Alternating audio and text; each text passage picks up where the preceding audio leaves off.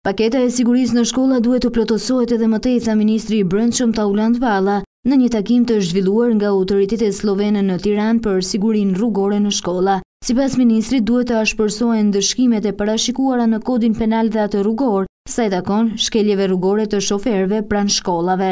Kur një shkelje rrugore ndodh brenda një perimetri të sigurisë shkolla, shkelësi Nuk mund të ndëshkohet njëlloj sikur ndodh diku gjetkë.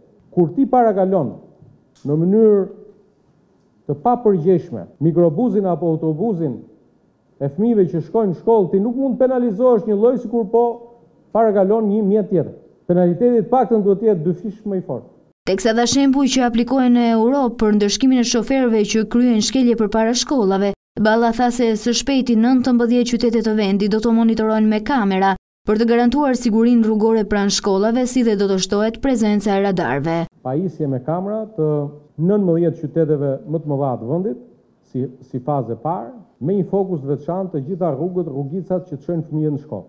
Dikush mund ta quajë një Big Brother të madh, po për mua është një dimension tepër i rëndësishëm i garantimit të sigurisë. Shumë shpejt do të kemi të mundur dyqind kilometrat e para të rrugëve kryesore të vendit të monitoruara tërësisht me kamera dhe radar.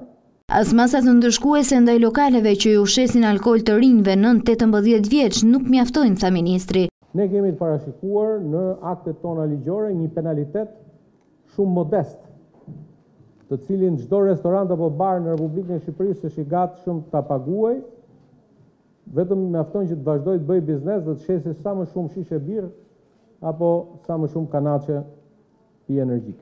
Edhe pse prej shtatorit të vitit të kaluar janë një mijë e njëqind persona të ndaluar nga policia për shkak të shitjes së lëndëve narkotike nëpër shkolla, ministri i Brendshëm thekson se lufta ndaj këtij fenomeni do të vazhdojë, pasi është sfida më e madhe me të cilën po përballen.